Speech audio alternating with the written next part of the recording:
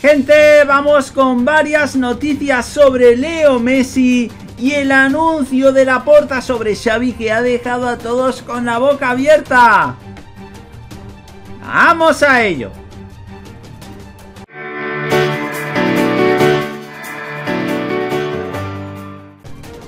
Hola de nuevo chicos, ¿cómo estáis? Bienvenidos de nuevo a otro vídeo para el canal. Vamos a analizar la última hora del Fútbol Club Barcelona.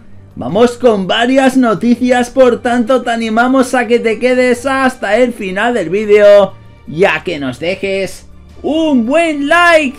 Vamos sin más dilación chicos, analizar la primera noticia y es que Luis Suárez está incluso superando a Leo Messi en su lucha por el Pichichi. Leo Messi se ha encarrilado una vez más en la lucha por convertirse en el máximo goleador de la Liga Santander. Una temporada más. La disputa en este curso ha estado mucho más apretada por el gran momento que viven jugadores como Luis Suárez del Atlético de Madrid o Youssef Nesri, quien se ha destapado como el goleador del Sevilla de Julen Lopetegui. En la pelea también están Gerard Moreno, Karim Benzema o Yago Aspas. El golazo de falta directa de la pulga frente al Athletic Club de Bilbao, que abrió el marcador en el Camp Nou, fue la prueba de que Leo Messi se defiende de los ataques tras la filtración de su contrato con goles y muestra de su gran calidad con el balón. De hecho, antes de convertir en el minuto 20, el argentino ya había protagonizado varios acercamientos al arco defendido por Unai Simón. Finalmente su lanzamiento se coló por la escuadra sin darle la oportunidad a Geray Álvarez que cubría el palo para despejar el balón. Con ese gol el rosarino ya acumula 12 tantos en 21 jornadas disputadas, misma cantidad que en Nesri, quien no convirtió este fin de semana en la visita del Sevilla Leibar. Quien no faltó a la cita del gol en este fin de semana fue Luis Suárez, que con un doblete en Cádiz demostró que está viviendo su mejor momento como goleador bajo las órdenes del Cholo Simeón en el Atlético de Madrid. El pistolero abrió el marcador en el estadio Ramón de Carranza con un auténtico golazo de falta directa el disparo del delantero uruguayo se coló al palo derecho de la portería de Ledesma antes de la primera media hora de partido. La historia para Suárez no terminó allí y volvió a mojar en el comienzo de la segunda parte, esta vez desde los 11 metros, tras un penalti de Marcos Mauro. La diferencia entre el primer puesto ocupado por Suárez con 14 goles y el cuarto máximo artillero es de tan solo 4 goles, por lo que la pelea en este año por el Pichichi será ajustada en todo momento. En la clasificación tras el uruguayo, Messi y en Nerri, Gerard Moreno del Villarreal con 10 tantos pues de no poder anotar en el partido frente a la Real Sociedad. Karim Benzema suma los mismos tantos que el delantero del submarino amarillo, pero tampoco logró convertir en la derrota del Real Madrid frente al Levante, aunque tuvo ocasiones muy claras a lo largo del partido. Por detrás del ariete francés están Yago Aspas con 9, Roger con 9 y Oyarzábal con 8 goles convertidos. Por tanto, chicos, así está la clasificación de máximos goleadores de la liga. Vamos a hablar ahora, chicos, de la deuda que tiene el Barcelona actualmente con Leo Messi. Siguen las habladurías acerca del megacontrato de Leo Messi en el Barça. Marca adelantó este lunes que el Rosarino aún no ha cobrado los 63.5 millones de euros de los 72 que el Barça le debería haber pagado ya a estas alturas. El medio confirmó que Leo solo ha percibido 8.5 millones de euros, una cifra importante, pero escasa en comparación con lo que el Astro debía cobrar antes de final de enero. Este retraso en el pago vuelve a sacar a la luz los tremendos problemas de liquidez del club. Dichas apreturas económicas provocaron que el Barcelona tuviera que renegociar con sus jugadores el pago de las fichas, con el acuerdo que tardó en llegar tras una negociación en la que hubo varias amenazas por parte de los jugadores al club.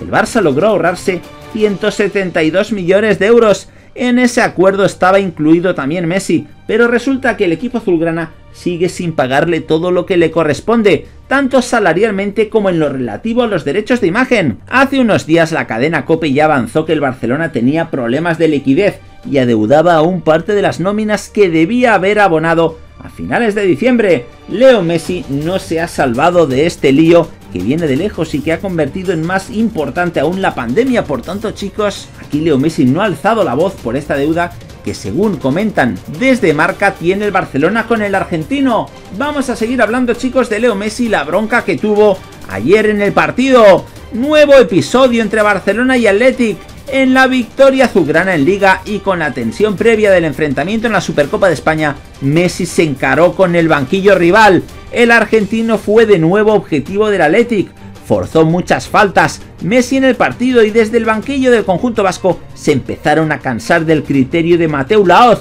Unas imágenes desveladas por jugones de la sexta revelaron el enfrentamiento verbal que tuvo Messi con algunos integrantes que se encontraban en el banquillo.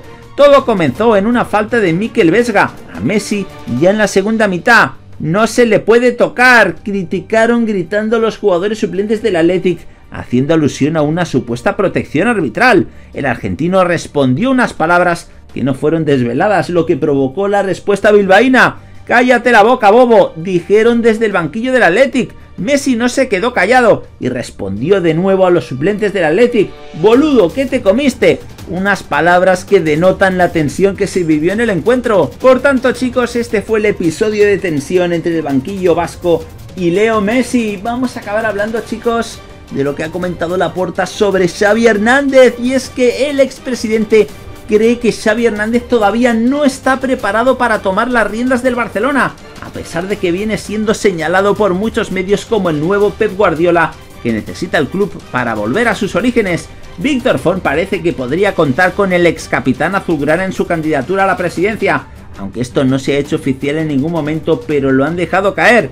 En una entrevista concedida a RAC 1, el candidato a la presidencia azulgrana desvela que de momento no piensa en Xavi Hernández como entrenador del conjunto catalán a corto plazo, ya que cree que todavía le falta algo de experiencia en los banquillos. Comentó al respecto la puerta lo siguiente, necesita un poco más de recorrido. A día de hoy necesitamos un entrenador con experiencia. Es lo mismo que hicimos en su día con Rijkaard, un técnico con experiencia que sentó las bases del proyecto y después Guardiola, que venía del filial, terminó de pulir e incluso llegó a la excelencia. Eso sí, antes que nada tenemos que respetar a Kuman que tiene contrato en vigor. Laporta también confirmó que en la situación que vive el equipo en lo institucional necesitan un entrenador fuerte en el banquillo para que las cosas dentro del terreno de juego sigan yendo bien y comentó en la situación actual el Barcelona requiere experiencia en su banquillo. El propio Xavi fue el que afirmó hace unos meses que su llegada al Camp Nou debería esperar todavía más, ya que quería quedarse unos años más en Qatar para pulir más su carrera como entrenador ya que en el Al-Sad tiene la total confianza tanto de la directiva como de la afición. En principio tiene contrato allí hasta el próximo verano, pero no se descarta que pueda ampliar más tiempo este vínculo. Por tanto, chicos, lo ha dicho clarísimo Laporta, no quiere a Xavi Hernández a día de hoy en el banquillo azulgrana. Nos gustaría saber vuestra opinión al respecto y que por favor nos la dejéis en los comentarios justo debajo de este vídeo. Nada más por el momento, como siempre animaros a dejar un buen like al vídeo, a suscribiros al canal si no lo habéis hecho y a darle a la campanita de notificaciones. ¡Hasta la próxima!